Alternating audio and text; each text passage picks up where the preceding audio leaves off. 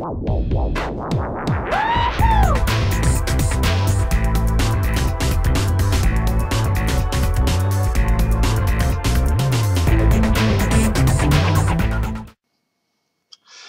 Borgheide, hallo Welt, da bin ich wieder, euer Lutze. Jetzt wird's langsam eng zum Jahresende. Es sind nur noch 15 Tage bis Weihnachten und jetzt starten überall die Weihnachtsfeiern. Überall ist was los. Glühwein fließt in Strömen und äh, große Dinge bahnen sich an. Ja, zum ersten natürlich, wie man in der Presse entnehmen konnte, wie man der Presse entnehmen konnte, unsere Grundschule. Laut Pressemitteilung soll bis spätestens 2020 ein neues zweigeschossiges Schulgebäude für 6,64 Millionen Euro entstehen.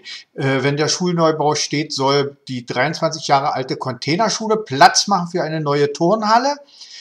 Äh, der Bau eines neuen Schulgebäudes für die Hans-Grade-Grundschule und einer Einfeld-Turnhalle wurde durch die Gemeindevertreter in Borgheide beschlossen. Wenn alles gut geht, können bis spätestens im Jahr 2020 Erstklässler im Neubau eingeschult werden.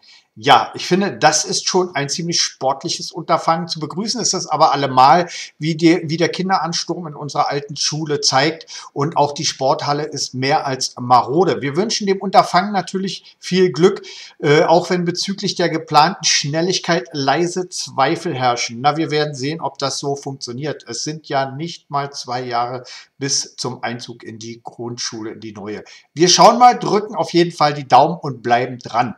Dann gab es natürlich auch Neuigkeiten bei der Feuerwehr, bei der Freiwilligen Feuerwehr Borgheide, denn Mike Wiede ist am Freitagabend äh, zum Zugführer befördert, worden. Während der Jahresversammlung der Feuerwehrleute äh, aus dem Amt Brück gratulierten Amtswehrführer Uwe Paul, Amtsdirektor Marco Köhler und der Vorsitzende des Amtsausschusses Matthias Röll zu der Qualifikation. Mike ist seit April auch stellvertretender Amtswehrführer und damit nicht genug, ist er mit Wirkung vom 7. Dezember auch noch Brandmeister und zudem Funkwart im Amt Brück. Ja, Langeweile dürfte bei ihm nicht aufkommen. Jedenfalls herzlichen Glückwunsch auch von Borgheide News TV an dir, Mike. Äh, wir wünschen dir viel Glück bei der Bewältigung deiner vielfältigen Aufgaben. Dann gibt es natürlich auch noch Neuigkeiten von der DLRG, denn auch die war wieder im Einsatz gewesen. Diesmal natürlich, was heißt natürlich, äh, in Michendorf beim Nikolauslauf, wie man hier bei den Bildern sehen kann. Die Ortsgruppe Borgheide war vertreten mit Hannes, Franziska und Enrico, die dort die Veranstaltung mit abgesichert haben. So, kommen wir zu den vielen Weihnachtsmärkten. Als erstes geht es am Freitag los und zwar äh, am 14.12., ach, am Freitag sage ich natürlich Quatsch, am Samstag, am 14.12. ab 15 Uhr in Borgheide im Waldbad. Borgheide, der beliebte Weihnachtsmarkt im Waldbad. Mit den Waldtrommlern, der Weihnachtsaufführung mit den Grundschülern der äh, äh, Hans-Grade-Grundschule Borgheide, dem Bläserchor Treuen Brietzen Borgheide, Seniorentanzgruppe mit der Line Dance Gruppe Crazy Borkies und natürlich mit den beliebten Fireflies. Ganz zum Schluss dann noch mit gemeinsam Weihnachtslied singen, was bei den paar Glühwein, die man sich bis dahin eingeholfen hat, doch richtig gut klappen sollte.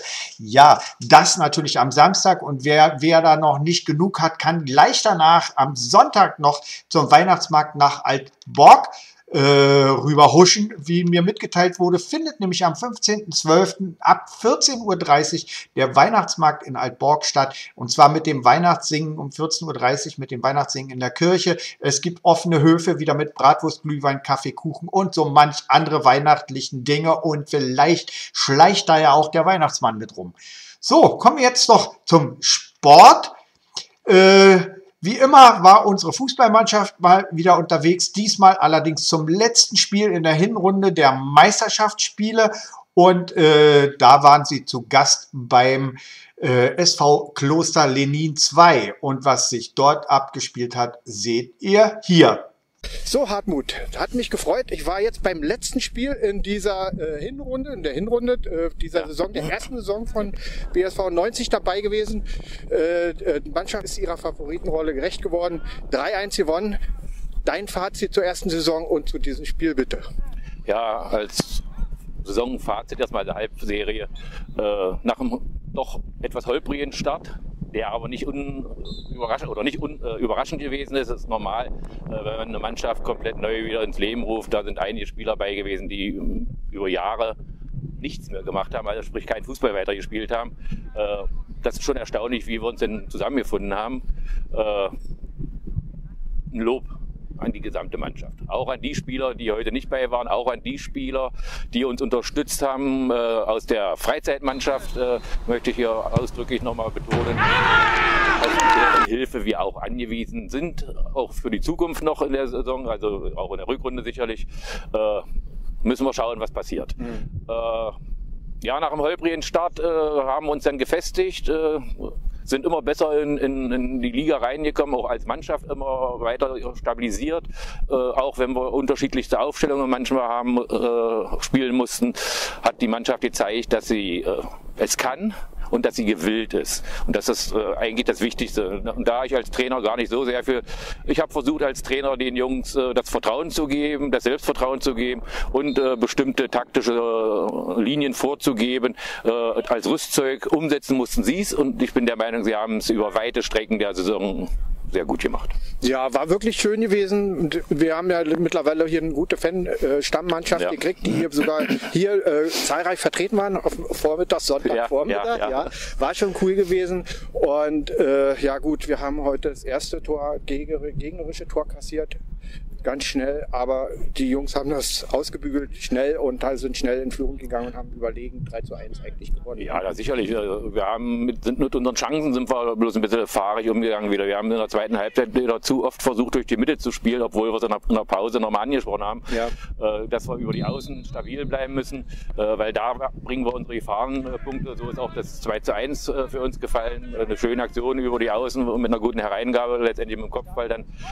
Das haben wir in der zweiten Halbzeit zu wenig wenig gemacht. Dann sind wir wieder in alte Schemen zurück, das war durch die Mitte und da standen wir uns manchmal selber auf den Füßen, gerade in den letzten fünf, sechs, sieben Minuten noch in diesem Spiel. Mhm. Aber äh, also, Tim hat jedenfalls seine fliegerischen Fähigkeiten wieder bewiesen ja. und es war cool gewesen. Herzlichen Dank für die erste Saison Alles und klar. für die erste äh, ja. Hinrunde und wir werden sehen, wir müssen natürlich in der zweiten, also in den Rückrundenspielen mehr außerhalb spielen. Naja, so viel, so viel mehr wird das nicht sein. Man hat also das Gefühl gehabt. Ja, das hat, man hat das. Ja, ja, ja, ja, ja, ja. Aber es sind ja auch äh, Spiele. Äh, es kommt vor, dass wir mal zwei Auswärtsspiele hintereinander haben, aber äh, ich habe mal geguckt im Rahmenplan. Ich habe auch gedacht, aber nee, das, das Okay, gut. Herzlichen jo, Glückwunsch. Danke. Wir sehen uns weiter. Ja, ich hoffe, es hat euch gefallen. Die Windgeräusche bitten wir natürlich ein bisschen zu entschuldigen. Jedenfalls Glückwunsch den Jungs vom BSV 90 zum gefestigten zweiten Tabellenplatz über die Winterpause und natürlich auch Danke an die Trainer, die eine so starke Aufbauleistung bei einer jungen Mannschaft vollbracht haben. Äh, und natürlich den Fans, auch wenn die nicht immer dabei sein können. Nun geht es erstmal in die verdiente Winterpause mit ein paar kleinen Hallenspielen, so wie ich gehört habe. Aber wie gesagt, weiter geht es erst am 24.02. Äh, gegen Linte. So, dann kommen wir noch zum Wetter. Matze, was sagst du dazu?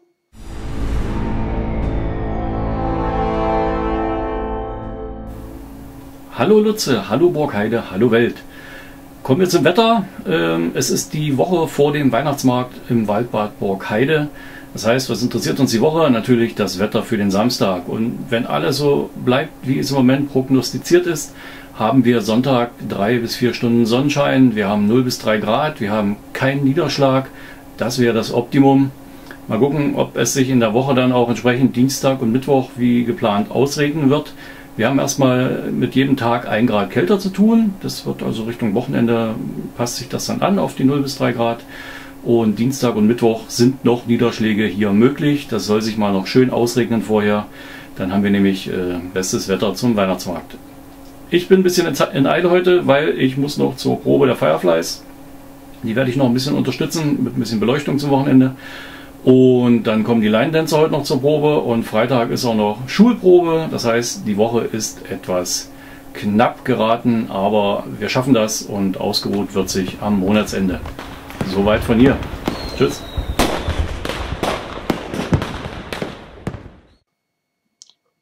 Tja, wie ihr gesehen habt, Matze lässt es schon mal knallen. Er greift da ziemlich weit vor, aber das ist nun doch noch etwas hin. Denn vorher muss der Weihnachtsmann noch mal ordentlich ran und Geschenke bringen. Jo, das soll es nun erstmal gewesen sein. Ich denke, wir sehen uns äh, in Massen wieder zum Weihnachtsmarkt im Waldbad Borkheide. Bis dahin wünsche ich euch alles Gute, wie immer hier vor der Kamera, euer Lutze und tschüss.